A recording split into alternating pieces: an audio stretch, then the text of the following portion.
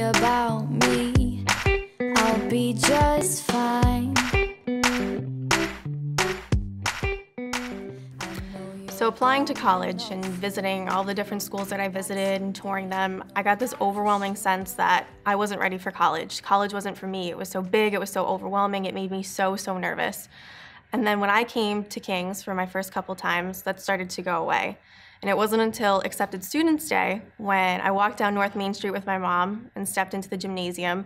And I turned and I looked on the bleachers and just saw the entire place filled with students and their families that I felt ready for college. I felt ready to go.